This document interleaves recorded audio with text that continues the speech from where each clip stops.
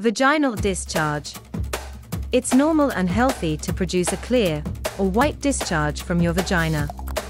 This mucus is produced naturally from the neck of the womb, known as the cervix. How to tell if your discharge is unhealthy? The amount of vaginal discharge varies throughout your menstrual cycle. Brown discharge is usually the end of your period. Most pregnant women will get a pregnancy discharge.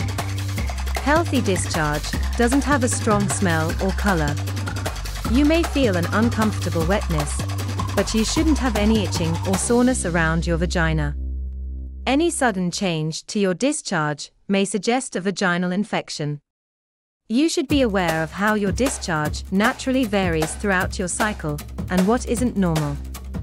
However, obvious warning signs of infection are a change in color or consistency, a sudden bad smell, an unusually large amount of discharge.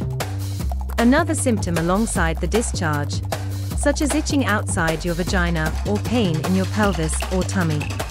Unexpected bleeding from the vagina.